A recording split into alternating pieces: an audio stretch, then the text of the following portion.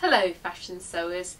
In this video tutorial I'm going to be showing you how to do a quick and easy zipper fly front. I'm Colleen G Lea and this is Fashion Sewing Blog TV. Here I've got an example of a zipper fly front and all it does is conceal the zipper underneath and gives it this attractive kind of um, I suppose decorative trim or decorative style. You can find them on men's, which this is, and also on women's which will be on the opposite side and that's what I'm going to demonstrate in this video tutorial. Now on a sewing pattern what it will look like is something like this. It is basically just an extension of the seam so you find a shape like that and then what you do will be folding it back when you come to work with your fabric but that is basically what it looks like on a sewing pattern. Once you've cut your pattern piece onto your fabric, what you'll find is a shape like this. The first thing you need to do is sew the seam and then once you've actually sewn the seam to the length of where your zip is going to end then you can either sew by machine or by hand base stitching all the way to the top and then press and that will give you a nice neat opening to a zipper. I, I hand based mine so I'll just pull that out. So you want that nice edge on both of your seams. Interface the fly front extension on both and neaten the raw edges. And then one side divide it in half like so. And this is where the zip is going to be applied on this section here. So I'll just turn this over so I can get my zip into place and my pins.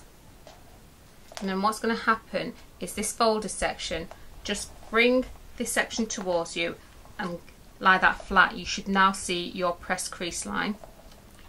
Get a zipper place it in position.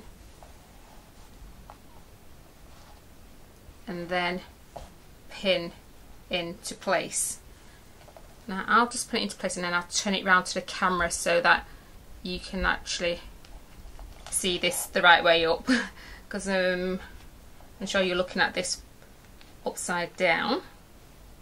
Remember you can, you, you can actually base stitch this as well once you've pinned all the way to where the zip ends. So this is what it will like when you're working on it. So remember I folded it, I'll show you there, and I place the edge of the actual seam against the teeth of the zipper, pinned it into place and you can baste this if, if you wish. Make sure you attach your zipper foot and you're going to be sewing quite close to the edge of the actual fashion fabric and it's placed quite close to the edge of the teeth of the zipper. Stitch all the way down. Removing pins as you go.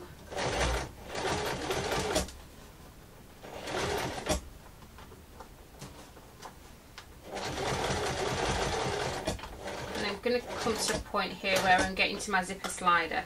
So I'm going to put my needle down, lift my foot, then open up my zipper. If it will allow me to, just turn that a little bit. This is, what gets tricky about doing this technique. I'll give it a yes, I've got it.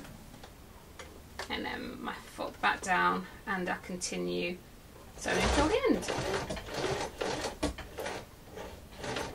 And reverse back stitch that.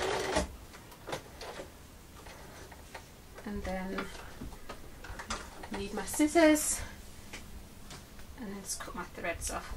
So my first row stitching for the zipper tape onto the zipper tape has happened and I'll take it to my work surface and show you the next stage.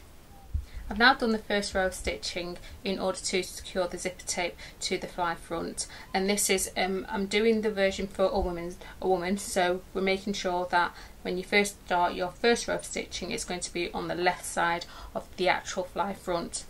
Now we need to sew the right side of the fly front to the zipper tape or vice versa.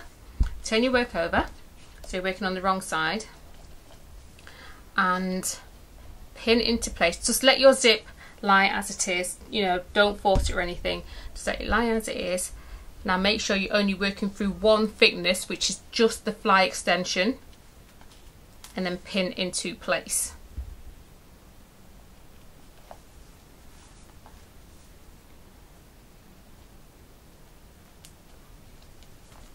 And another one here.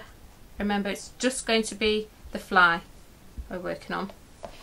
Turn it around so you can see. So I'm now going to do a row of stitching along the teeth.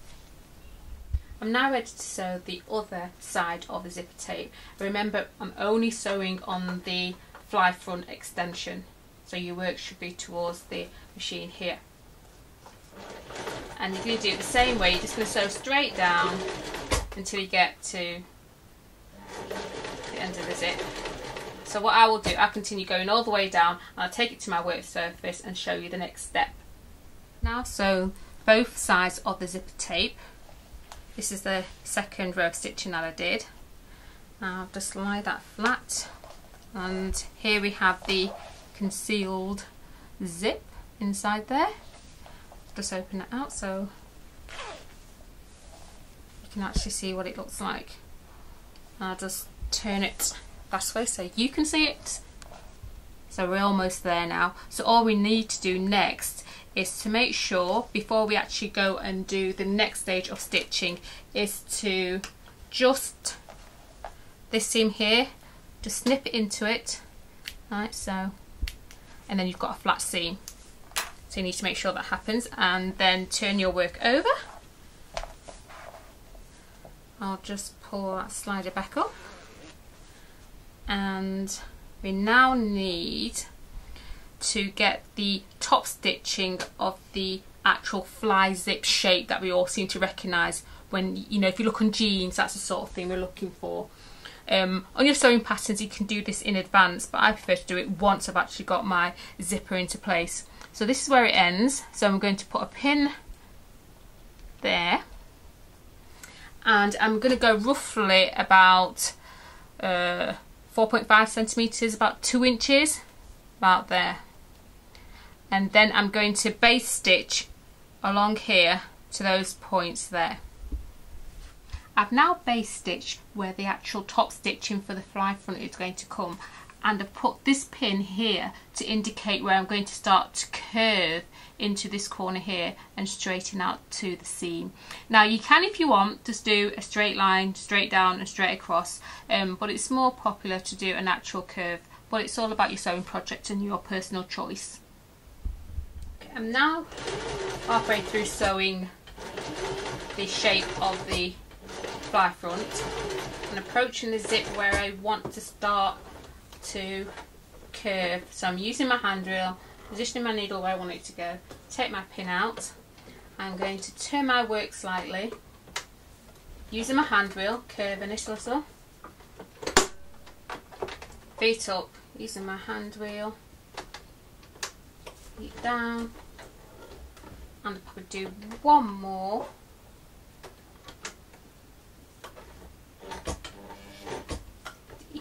do this method if you want more control um, but if you think you can do it in one go then go ahead and do so.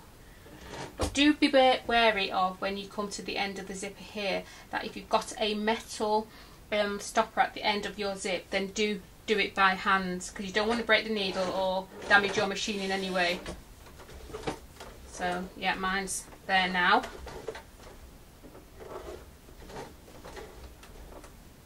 Happy with that I'm going to straighten that a little more. So it's all about hand wheel controlling with your feet and also the needle. Now you can, if you wish, depending on your sewing project, back stitch.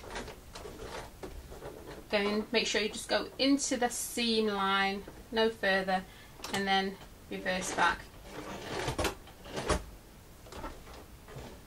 Right, I finished that now.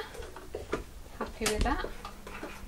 And cut my threads and I'll take it to my work surface and show you the end result.